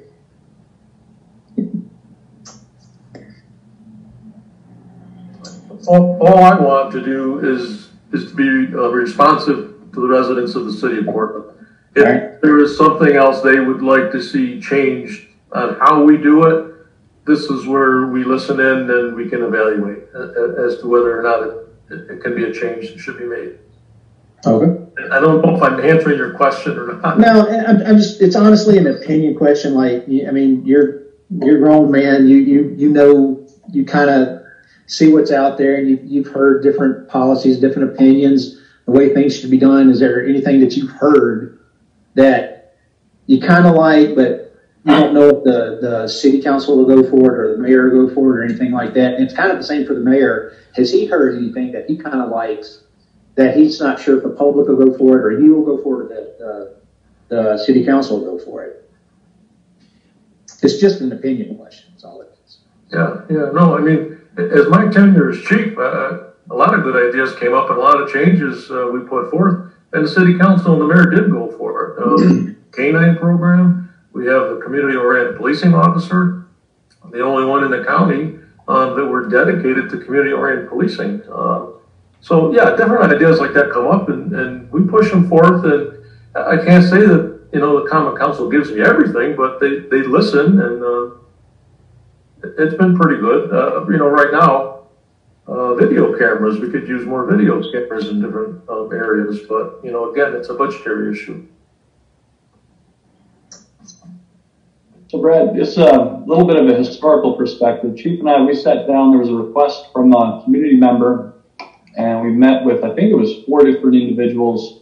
Um, Chief, I don't know if you remember, but we're over at Diner and they expressed some concerns and I was, uh, learning at the time and I think, well, life is a learning process, but uh, being newly elected to mayor, learning quite a bit about what different departments do and responsibilities. Uh, one of the things that came out of that conversation was making the opportunity for people to file complaints if they had an issue and they weren't happy with how they were treated. Uh, Chief made it easier for people, for people to file a complaint and then have their voice heard. Uh, there were some explanations, there were some questions that were raised at that meeting about policy procedure, and I thought Chief did an excellent job of laying out here's why we do what we do. Um, and at the end of the meeting, I'm not sure if uh, the four individuals we met with, if everybody walked away satisfied, but I walked away with a uh, deeper understanding and also was gratified to see that there were some things that Chief heard and said, yeah, we can do that and make it more responsive to the community. And I view these forums as essentially being an extension of that. So you asked a specific question, are there things that uh, potentially could be changed? Um, I can't put my thumb on the scale, so to speak, because the um, whatever comes forward in terms of a rough draft will be in collaboration with the chief, the deputy chief, uh, one of the council members, the four of us who've been working on this specifically, and also working with community members. And uh, I think it's important that it is a collaborative process. So I would say that yes, safe to think that there will potentially be some changes, but uh, well, recommendations, and then those recommendations would come forward, and then we'll hear public feedback about potential recommendations in January. And it remains to be seen from uh, the eight people on council if they would like to see some changes that are recommended or if they uh, are comfortable with how things are structured. I do see this as being a valuable exercise. It gives us the opportunity to communicate. Part of that is just listening. There was a hand up, but I think it went back down. Oh, Whitney. uh, thank you. Uh, so I wanted to propose to have more diversity in the um, Cortland City Police Department. And I wanted to know how I, as a um, Cortland citizen, uh, could help bring that forth. Um, and then I just would want to follow that up with um, actually kind of wanting to know, uh, you know, are the majority of the police officers in the department white? Are they are they more? Are there a majority of them male? Like I haven't really had a lot of interactions with the uh, Cortland City Police Department, but um, I guess that's what I'd like to know. Um, and how can I help the department become more diverse, as in non-white, um, women, uh, transgender, uh, stuff like that? So that was talked about a little bit in the first forum, um, as, as far as um, hiring and diversity. Um, we are governed by civil service rules, and I alluded to that a little bit um, today too. We we have to go by civil service laws and guidelines. We're provided with a list of candidates in certain ranking order, and that is all that we can consider when it comes to hiring. So if there is no diversity on the list, then there's no diversity for us to pick from. Um, we try to recruit a little bit better to try to get more diverse uh, groups to take the test. And that's where it begins. You've got to be able to be on the eligible list to be looked at. Um, our department right now consists of 44 sworn officers, all uh, white males, other than four white females. So four white females and 40 uh, males, all white. And so you do, since you've looked into it, you do agree that it would be it would be a benefit you to have more diversity in your department. Absolutely, we would definitely like to have more diversity in our department. Thank you.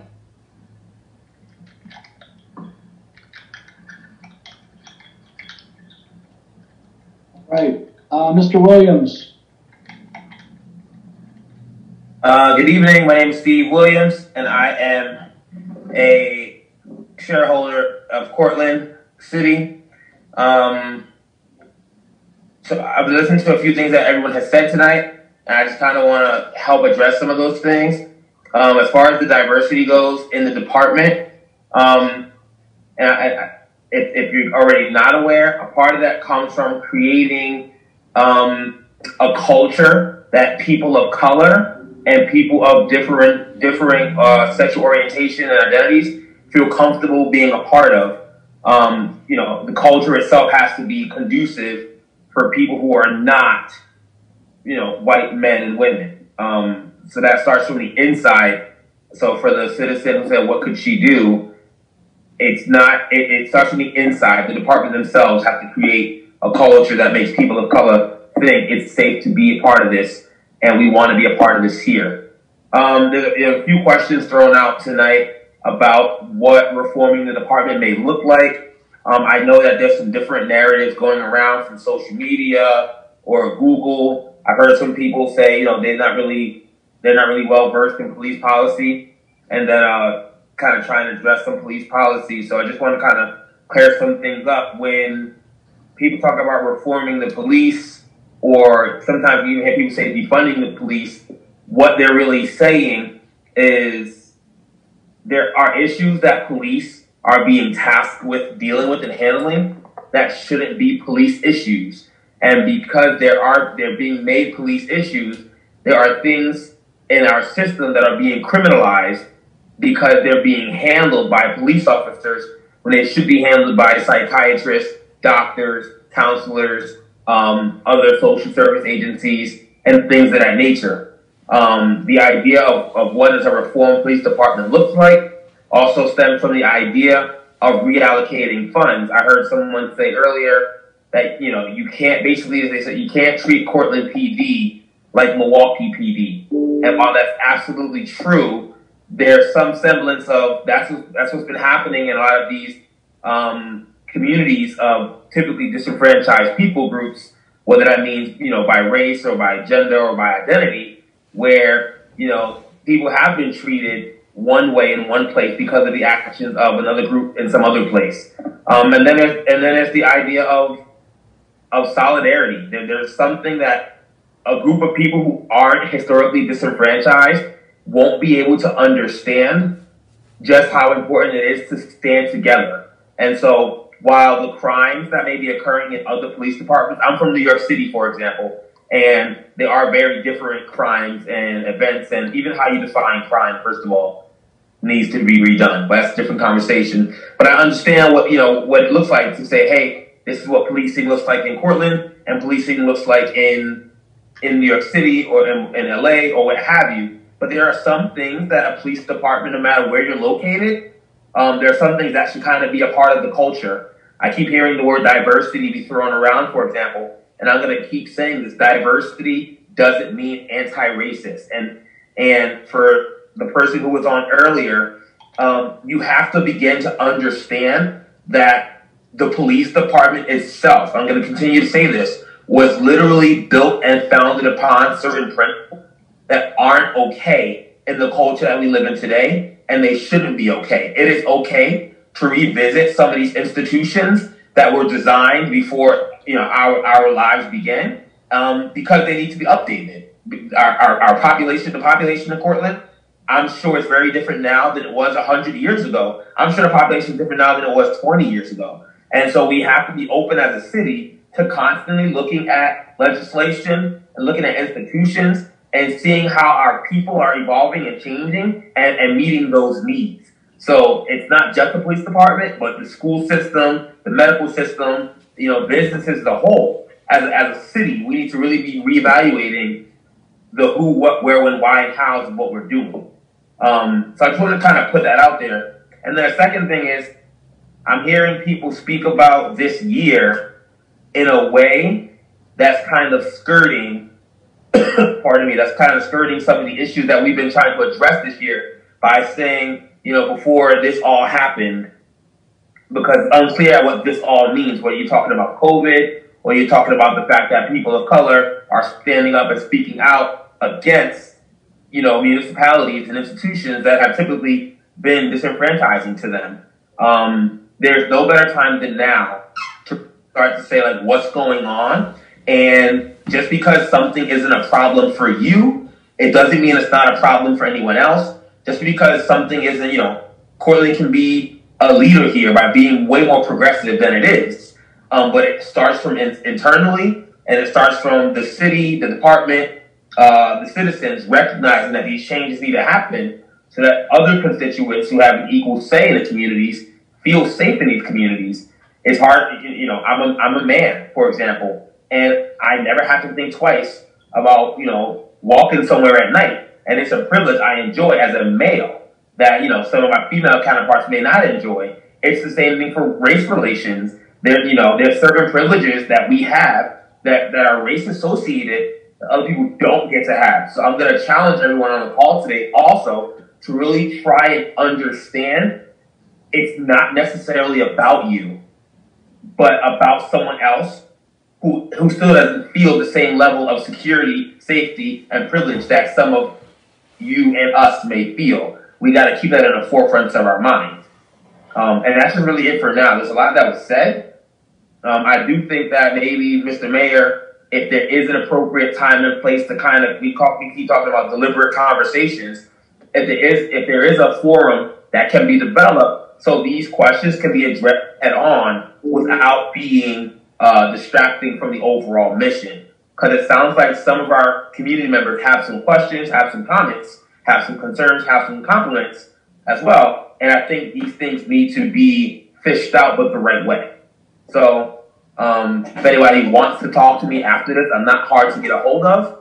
Um, let me know. I can give you my contact information, and I would love to continue some of these conversations uh, because I, you know I'm going to take your conversation as an interest in learning and growing, and I'm here for it, and we can work on this together. So uh, that's my piece. Thank you. Thank you, Steve. Whitney. Uh, just want to say, I hear you, Steve.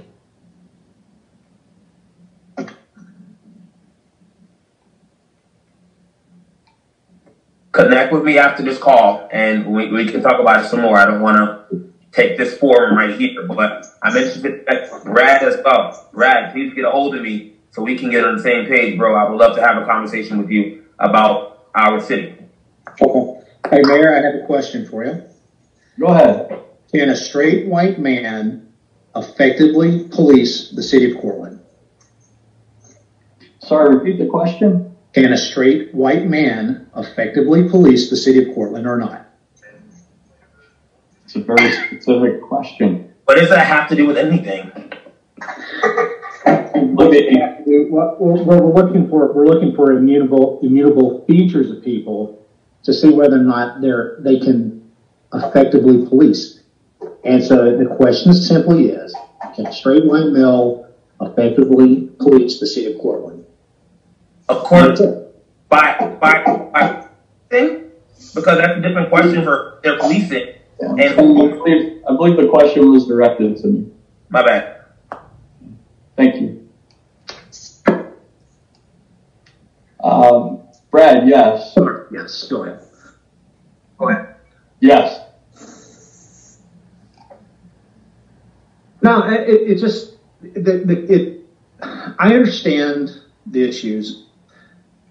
What I'm, what I'm speaking of is when we're, when you're, when I hear the word reforms and reimagining, it, it's always, it's never specific. What specific are we looking for? When, when somebody asks, uh, well, do we need a transgender person on the police police force? Okay, we're talking about policing. We're not talking about social work. We're not talking about these different things. We're talking about specifically policing.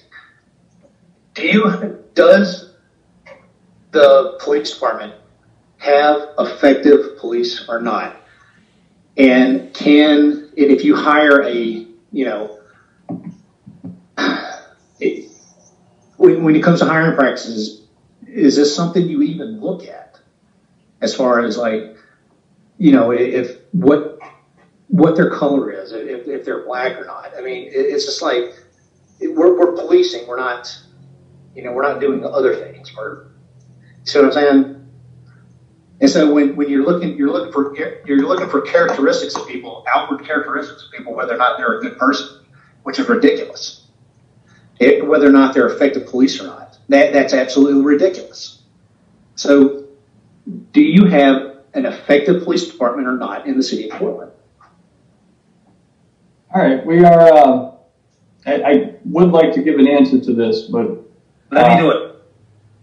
Steve, I, I apologize, but I'm going to say no. That this question was directed to me, and I'm more than happy to address it because um, I, I, think I don't know. I think I understand where maybe coming from. So um, the, the original question was, can a straight white male police effectively? Yes. And you can change any of those three words, and the answer would still be yes.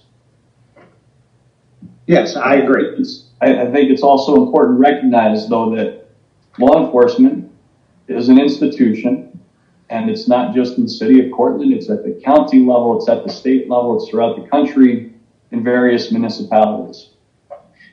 And every department is going to have some things in common, and then there will be some things that are different. You know, when our officers go to training, they go to training before they are hired um, to work on the street. They're hired, they go to training, it's at an academy, they have other people that are teaching them. And then they come in and they're working here in the city of Cortland. And in the city, our department, they spend chief six months, uh, the first six months being employed, partnering with a training officer who's basically showing them the ropes here. But they didn't start their training when they got here. They didn't start who they were when they went to the police academy. They're people.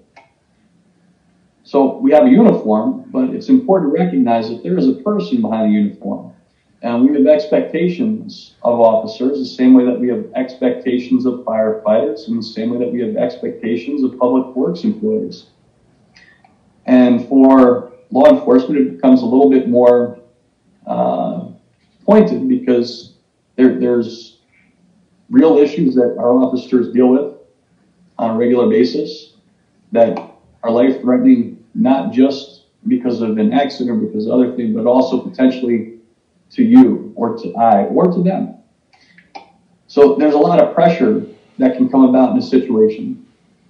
And we need to make sure that we are, um, first of all, giving our officers the resources that they need to be successful, and also holding our officers accountable into a high standard. And part of that is law enforcement as an institution. And that's what we're talking about here. You know, we're talking about policy, we're talking about procedure, we're talking about leadership, equipment. Uh, we talk about what are the general functions that we expect law enforcement to engage in.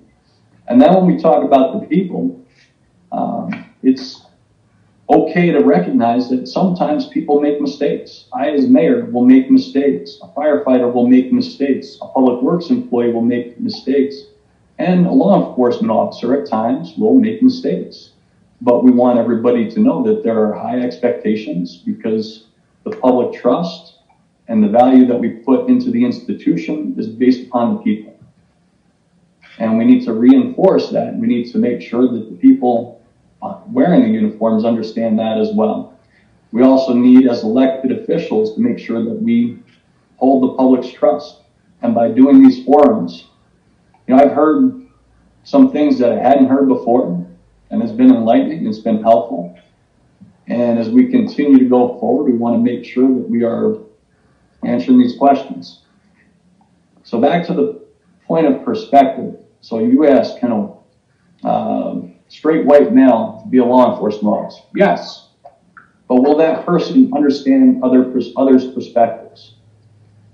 And will that person be able to relate to the individual who has had a domestic violence issue uh, and is suffering from trauma, or somebody who has past history, or they've had other issues?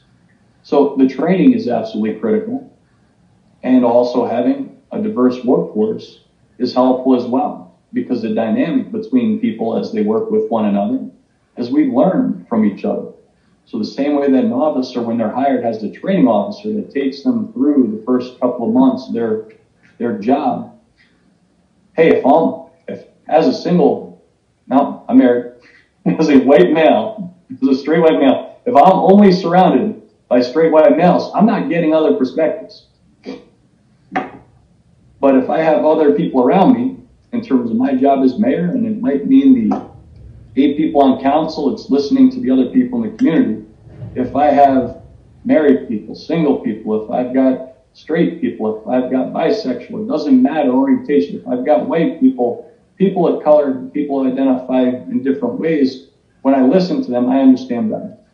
And that's part of it is making sure that when we talk about how most work If, if you don't mind, it- just one other thing is like whenever they talk about, whenever they talk about the recruiting, everybody, whenever they talk about recruiting and hiring, I mean, unfortunately, let's say unfortunately, or and just as it is, Cortland is not, you know, forty percent black. It's what ninety five percent white. I mean, nine, ninety percent. It's 94, about three or four. Yeah, I mean, so I mean, you just you're not going to get a lot of diversity in the in the hiring. I mean, that's just, I mean, that's just kind of self evidence, right? No, not at all. And that's a part of that's why you're not getting evidence in the commu- in the community. It's number one, that number's growing every year. That number is the number of minority population people are is constantly growing every year. And Steve, uh, I would say that the number of the people is not the critical issue here. It's being able to relate. It's understanding that people do come from different backgrounds. And um, the same way that 70 years ago, when there were a lot of Italians that came over and came to Cortland and were not necessarily treated well when they got here, uh, that was a mistake. That was a mistake in our communities. But you know, we recognize and we learn from these things, and we say, how do we do better in terms of being a community, in terms of neighbors knowing neighbors, and getting to know one another. And just because there may not be a lot of people who uh, have a different sexual orientation or who have a different color of skin doesn't mean that we shouldn't work for everybody in our community. No, I'm talking about strictly hiring practices. I'm not talking about. I mean, I mean you're, just, you're there's only so many people who take a test, and then what's the breakdown of that percentage? Is like women. What? How many? Of, I think they said 40 took the test last time. What? Five, ten were women. I mean, so you're just not you're not going to get a 20 percent women. You're not going to get. And so you see what I'm saying? It's like you're you're you're, you're not going to get half the characteristics. We're not going to be. I don't just just aren't going to be there when it comes hiring time. Yeah, but here, here's one of the things, and this, this is where um, I think law enforcement. We need to value law enforcement. We need to have, and when I say we, I mean all of us. We need to have a high level of regard, high level of respect, um, be, because it's dealing with difficult situations and it's putting the public trust that we have people who are going to protect us all. And for us to attract high quality people, for us to attract people that are going to be able to perform under stressful situations, uh, we need to say that this is not only an important job, but it's a respected job. So one of the concerns that I have is when the chief talks about, hey, the latest civil service exam, there's 40 people that took it. It was what, 70 or 120 in the past. So as the candidate pool gets smaller, we have to ask the question, why is the candidate pool getting smaller? And how do we keep the candidate pool? Because my impression is that as the candidate pool gets smaller, probably it's not as deep either. So you're not getting the same quality of applicants. And it is a physical job, it's a mental job, and it is an emotional job. So it's not just having the physical skills. You have to also have the mental decision-making abilities, and you have to have a fair amount of emotional capacity because, man, they deal with some stuff. So the more that we can uh, build public trust in what we do, and the more that we can make sure that we are uh, having a cutting edge police force that is doing what they, not just what they're hired to do, but going above and beyond, then the more people will want to be in law enforcement. And the more we know that we will have the best quality candidates, top to bottom. And again, I think we have a very professional and outstanding force currently, and we want to maintain that.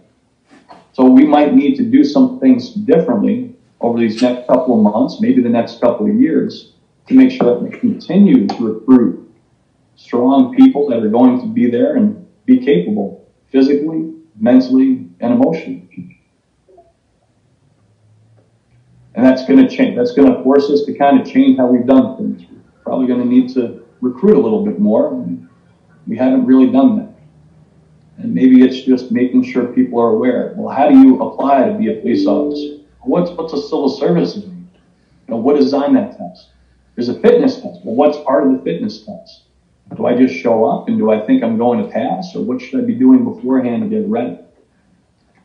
Because some of these things can be taught, they can be trained.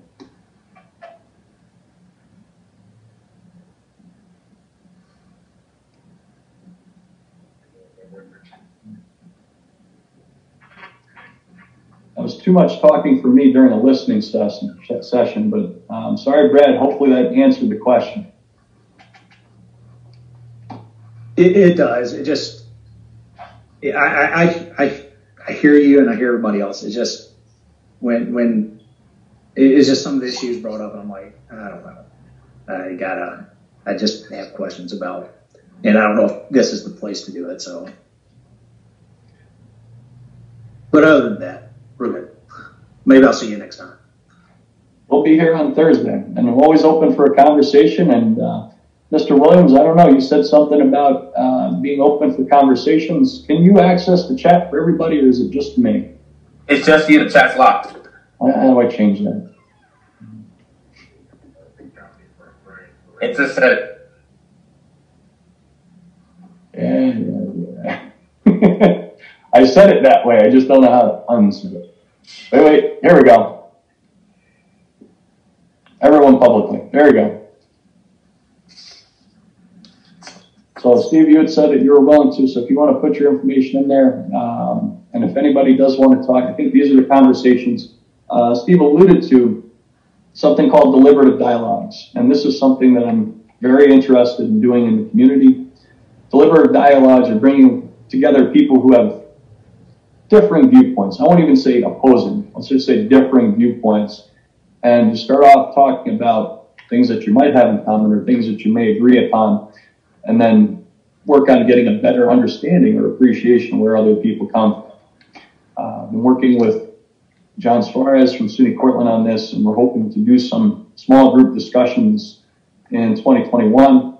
Um, so I'm going to step back from law enforcement entirely on this statement because I'll say that over the last not even weeks or months, but I think most people would say over the last couple of years that communities are becoming more polarized and um, we're having, I think, a harder time having dialogues where we're having discussions with one another. And part of that is listening to one another and getting a better appreciation where people come from.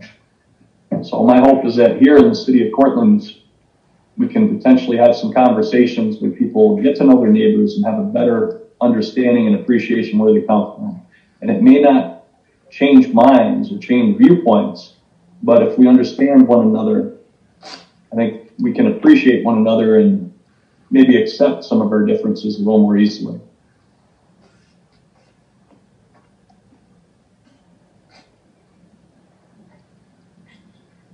It is 6:36. Is there anybody present that would like to speak before I close out the forum?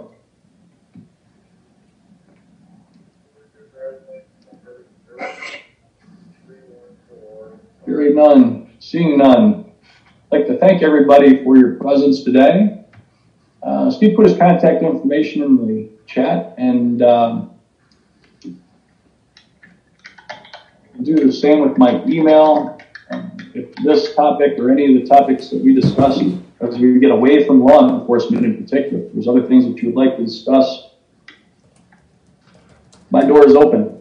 And if it is related to law enforcement, my door is open. And the uh, um, third and final forum will be this Thursday. And our goal is simply to make sure that we are providing the best resources to the city of Cortland that we can provide. Can I say something really quick? Steve, go ahead.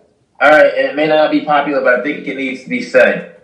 If this forum is supposed to be a listening session, then I want to encourage the. I felt like I had something I wanted to say, and I was told I can't say it because we're already off topic. And then we continued to have the off topic conversation. I feel like if we're going to do this again Thursday, and it's just a specific like focus we're supposed to have, we got to have it because when we get off topic, it makes other people want to chime in, and then we get told we can't chime into that topic, but then the off topicness continues. It just kind of feels like a disadvantaged rabbit hole. So I understand why and where. That's why I'm pushing for these deliberate conversations because I know that there's a different time and place for it. But I wanted to encourage everyone who, who is moderating this meeting. If we got to be on topic, that got to be for everybody and the whole time. Otherwise, it feels like we're picking and choosing, and that kind of feels like kind of what we're talking about here is voices being heard and feeling valued. So, but I appreciate it. I know that you know I got I got you know I know how to get in touch with you and everybody else. So thank you for letting me say my piece today. I'll see you guys Thursday for sure. No disrespect meant. I hope uh, we've we, we've strayed a little bit from the main topic, both in the first forum and this forum. But um, you know, in the interest of trying to answer some questions, so we'll continue to try to make sure that we stay on point. But we don't want people leaving feeling like the voices were not heard.